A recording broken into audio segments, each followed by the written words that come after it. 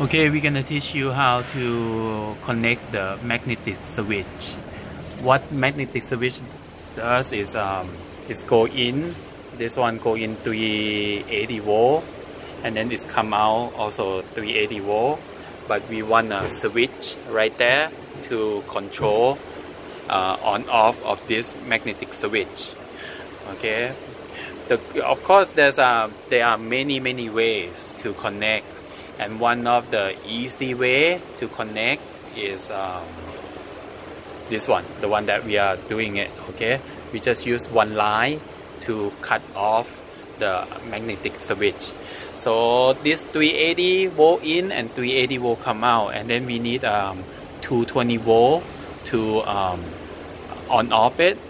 So what we do is um, okay we have n n line right here neutral line right? So we need a 220 volt to get in there.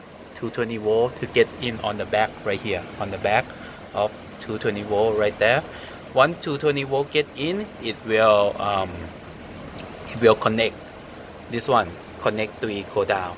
So we just uh, short circuit of n right there to on the back. And then we just go one line of the um, uh, 380 volt one 380 volt one line and one end it will be 220 volt right? One line and then end it will be 220 volt so go here the black go here and then we go to the switch. This one we use uh, what is called emergency to more safety of it. Emergency okay? So 220 volt in and then um, this is the line okay? The black line and then it go into emergency first and then it go to power on off right there and then it go back to the red line right there the red line and then the red line go into right here. So it give 220 volt and that's it. One if you click on when you click on there it will give the power. It will give the power to the magnetic switch and then it will give the power to 380 volt in.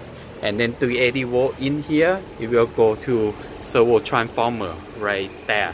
380 volt in and then 220 volt come out. 220 volt come out then give the power to the servo motor. Okay? Thank you